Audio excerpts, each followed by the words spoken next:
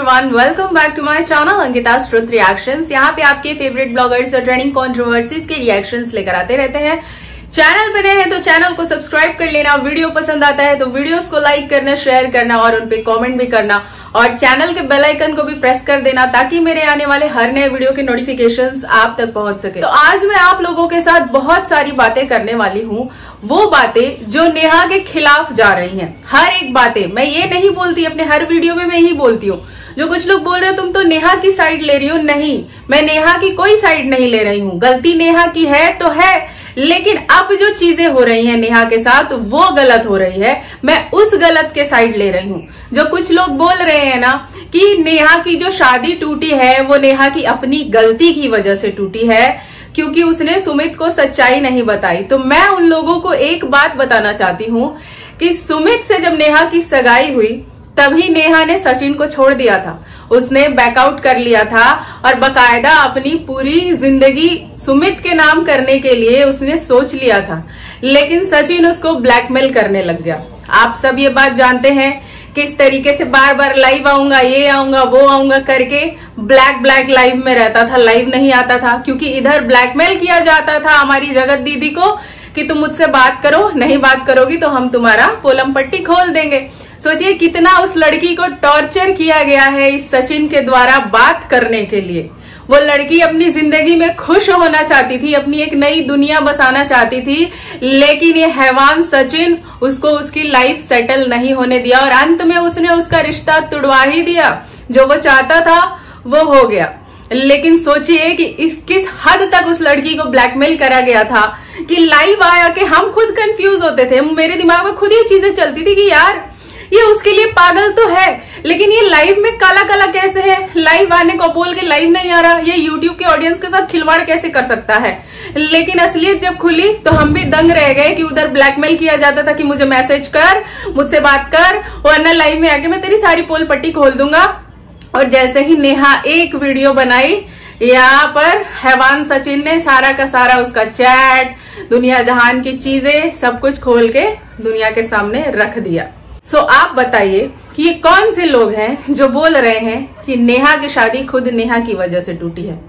नेहा ने अपनी शादी अब इसलिए तोड़ दी क्योंकि उसको भी पता है कहीं ना कहीं उसकी वजह से उस परिवार की भी बदनामी होगी।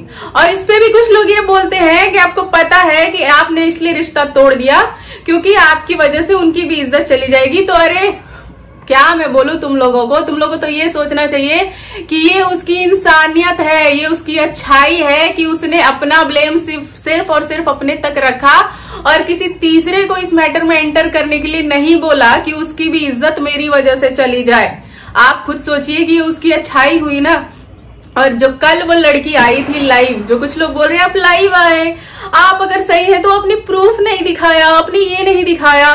जो पढ़े लिखे लोग हैं ना, उनको मैं बता दूँ मतलब पढ़े लिखे से इन द सेंस की जो अनपढ़ है, जिनको नहीं समझ में आ रही है चीज़ें, उनको बता दूँ कि जब कोई इंसान एक लीगल प्रोसीजर के तहत गुजर रहा होता है ना तो वो कोई भी सबूत किसी भी तरह का चैट सोशल मीडिया पे डिस्क्लोज नहीं करता है।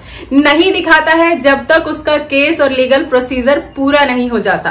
और यही कारण है कि नेहा अभी सोशल मीडिया पे अपना पक्ष नहीं रख सकती। लेकिन अगर नेहा की बातें किसी ने सुनी होगी तो उसने बोला है कि मेरा पक्ष भी आएगा। मैं भी अपना पक्ष रखूँगी, मैं भी बताऊँगी एक औरत की बेइज्जती हुई है तो मैं भी बोलूँगी। क्योंकि आप सब उस सचिन की बातों पर कैसे विश्वास कर सकते हैं कि उसने सारी की सारी बातें सच बोली है? आप बोलिए कि उसने वो बातें अपने तक की चीज़ें वो बोली है जो उसके मन गणंत में चल रहा था, जो उसको बोलना था। उसने तो ये तक बोला है कि नेहा को गोली खिलाकर शादी पे बिठाया गया था, सगाई पे बिठाया गया था। आपको लगा था कि वो गोली खिला के बिठाया गया था? अब तो आप लोग को खुला ना कि ये झूठ बोलता है कि नेहा को नींद की गोलियाँ खिला खिला के उसकी सगाई करवाई गई। कितना बड़ा झूठा है। और जो लोग मनीषा को कह रहे हैं कि नहीं नहीं, बड़ी सती सावित्री उसके साथ गलत हुआ उसने एक बार भी अपने पति का इस झूठ को खोला कि नहीं नहीं, मेरा पति गलत बोल रहा है। उसको दवाइयाँ खिला के सगाई पे नहीं बिठाई गई थी। वो अपनी मर्ज़ी से सगाई पे बैठी थी। एक बार भी मनीषा ने ये बात कबूली कि नहीं, मेरा पति उसका सगाई तुड़वाना चाहता एक बार भी कबूली, मेरा पति मेरा पति, मेरे, हम दोनों के बीच में आ गई। अरे, घंटा हम दोनों के बीच में आ गई।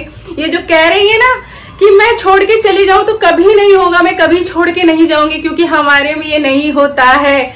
तो मैं उन ऑडियंस को क्लियर कर देती हूँ कि ये दो मुंहे बातें, वो ऑडियंस विश्वास करते होंगे, जिनकी आँख कान सब कुछ अंधे हो चुके हैं। क्योंकि अगर मनीषा के घर में इंटरकास्ट मैरिज हो सकता है तो ये डाइवोर्स क्यों नहीं हो सकता है? आप खुद सोचिए कि इनके घर में ये सब चीज़ें नहीं होती हैं। लेकिन इनके घर में दूसरी जाति में शादी हो सकती है। इनकी ननद ने खुद दूसरी जाति में शादी कर ली है, लेकिन इनके घर पे तलाक नहीं होता है। अरे, अपने मुँह से बोलो ना कि तुमसे तुम्हारे ससुराल का ऐशो आराम नहीं छूटेगा। तुम जिस लेवल पे हो आज यहाँ पर, वो तुमसे नहीं छूटने वाला है, क्योंकि तुम उस गरीबी में, अपने मायके की गरीबी में नहीं जाना चाहती हो, चाहे कुछ भी हो जाए। हम खुद सब लोग देख रहे हैं कि किस तरीके से इनकी सासू, मोम सुकड़ बीमारी का नाटक बना के बैठ जाती है, और माँ और बाप दोनों नौकर चाकर बने हुए घर में खाना वाना पका के सास ससुर को खिला रहे हैं। तो आप बताइए कि जो इंसान के घर में, मनीषा के घर में, उसके ही माँ बाप जब नौकर की तरीके से ट्रीट हो रहे हैं और उसकी सास बैठ के तबियत खराब मना रही है।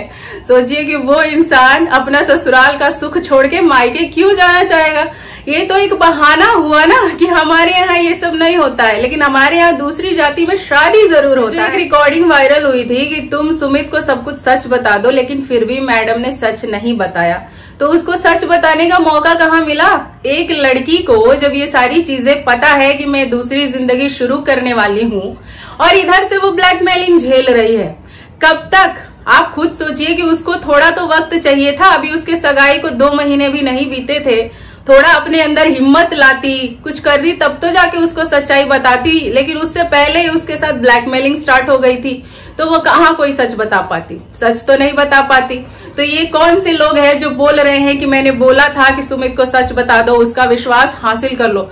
विश्वास तो सुमित का आज भी नेहा ने हासिल करके रखा था, लेकिन नेहा ने ही खुद फैसला लिया है जब सुमित से रिश्ता तोड़ने का तो इसमें कोई क्या कर सकता है?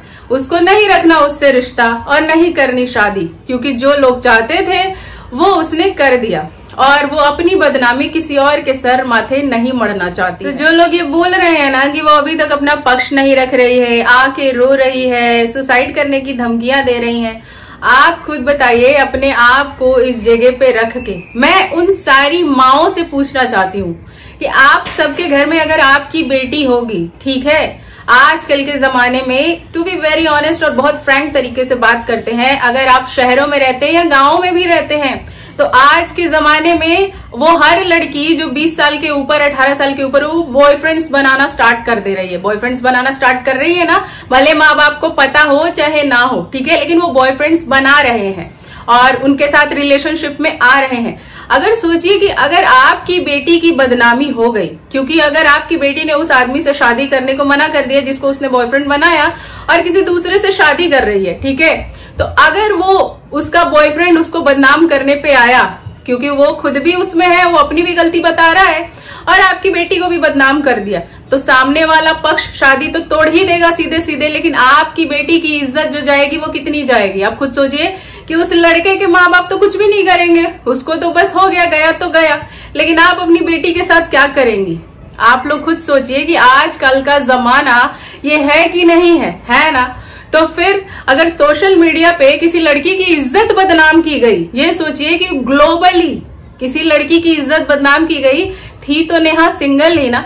उसके आसपास तो कोई था नहीं उस वक्त, जिस वक्त वो सचिन के साथ रिलेशनशिप में थी तो गलती यहाँ सचिन की है कि नहीं, उस हैवान की है कि नहीं कि वो अपनी बीवी को धोखा दे रहा था, उससे रिश्ता रख रहा था। और आज भी उसकी बीवी मनीषा उसको सती सावित्री और पति परमेश्वर बना रही है, उस पर कोई कार्रवाई नहीं कर रही है। और जब दुनिया वाले कहते हैं कि तुम्हारा पति भी गलत है, उसको बोलो तो ये लोग कहते हैं कि क्या करें? आप लोग बताइए, आप लोग चाहते हैं कि मेरा तलाक हो जाए? अरे, तुम्हारा तलाक हो ना हो, लेकिन अपने पति को सजा दिलवाने की हकदार तो तुम बनती हो ना? तुम्हारे कितने सारे अधिकार हैं, अगर लीगली देखा जाए तो तुम उन अधिकारों का यूज़ करके अपने पति को सजा दिलवा सकती हो, लेकिन नहीं, तुमने तो उस लड़की को नंगा करा, उस माँ को नंगा करा, जिसकी एक छोटी सी बेटी है। उसी लड़की को तुम अपने गोद में खिलाई थी ना? ताशी ताशी, बहुत प्यार आता था। आज उस लड़की का मुँह नहीं देखा था तुमने, जब उसकी माँ को सरेआम पूरे ग्लोबली नंगा किया जा रहा था, तब तुमने नहीं देखा। और आज जब लोग तुम पे बोल रहे हैं कि तुम गलत हो तो अब मैडम को आ रहा है कि आप लोग मेरे मैटर में मत पड़िए तो आप अपना ये मैटर सोशल मीडिया पे क्यों लेके आई, मैडम? सोशल मीडिया पे लेके आई तो आपको पता था ना कि जो भसड़ आपने करा है, इसमें दो मुँह उधर बोलेगा तो चार मुँह आपको बोलने भी आएगा। आएगा कि नहीं आएगा? लेकिन आपको तो ऑन कैमरा ही सारी चीज़ें बोलनी थी। ऑफ़ कैमरा तो आपको बोलना नहीं था क्योंकि आपको व्यूज़ लेने थे। लेकिन अब जब लोग इनके खिलाफ बोलने लगे हैं तो इनको बड़ी मिर्ची लग गई है। लेकिन लोग जब इनके साथ थे, सोचिए, जब लोग इनके साथ थे, सारे रिएक्शन चैनल साथ थे, तब तो इनको बड़ा मज़ा आता था। तब तो इन्होंने एक बार भी नहीं बोला कि आप लोग मेरे मैटर में मत पढ़िए लेकिन जैसे इनके मैटर में लोग पढ़े और इनका मैटर गड़बड़ाने लगा जैसा इन लोगों ने सोचा, था वैसा नहीं जा रहा है। तो अब इनको प्रॉब्लम हो रही है कि आप लोग मेरे मैटर में मत पड़िए। तुम लोगों ने लोगों का जीना आराम किया, रात दिन मेंटली प्रेशर दिया है, और लोग तुमको गालियाँ भी ना दें, गालियों के हकदार तो तुम लोग बनते हो। खैर, तुम लोगों का चैनल तो सच में डिलीट होना चाहिए, ये आधी से ज़्यादा जनता की ना ख्वाहिश है कि तुम लोगों का चैनल यूट्यूब पे एग्जिस्ट नहीं करना चाहिए, क्योंकि इस तरीके के गंदगी भरे चैनल ना कोई भी नहीं देखना पसंद करता है। तो आप लोग खुद बताइए कि इसमें सबसे ज़्यादा सजा की हकदार कौन बनती है? नेहा? या वो साइको सचिन। ऑब्वियस सी बात है साइको सचिन, क्योंकि उसने दो लोगों को धोखा दिया है। एक तो नेहा को भी धोखा दिया है और दूसरी अपनी बीवी को धोखा दिया है उसने, जो कि शादीशुदा मर्द। मान लो नेहा को लोग बोल रहे गलत, वो उसने लड़का फंसाया लड़का फंसाया। भाई तो इसने राखी क्यों बंधवाई? अगर इसके मन में उसके प्रति कुछ था तो इसने राखी क्यों बंधवाई? सबसे बड़ा सवाल तो ये है। और जब राखी बंधवा ली तो ये तो इसके पास तो दो फाउंडेशन हो गए ना। एक तो इसने उस लड़की से राखी भी बंधवाई थी, दूसरी ये शादीशुदा था। फिर ये उस लड़की के साथ नाजायज संबंध क्यों रखा? ये सोसाइटी सिर्फ़ औरतों को ही क्यों कोसती है? मर्दों को क्यों नहीं कोसती है? लेकिन अब मुझे लगता है कि सोसाइटी धीरे धीरे बहुत बदल चुकी है। ये जितनी औरतों को कोस रही है, उससे कई ज़्यादा मर्दों को भी कोस रही है। तो यहाँ पर तो सरासर एक मर्द की ही गलती है, और उसको ये गलती की सजा तो मिलनी ही चाहिए। आप सब अपनी राय ज़रूर से कमेंट सेक्शन में देना, और चैनल को लाइक और सब्सक्राइब करते हुए जाना।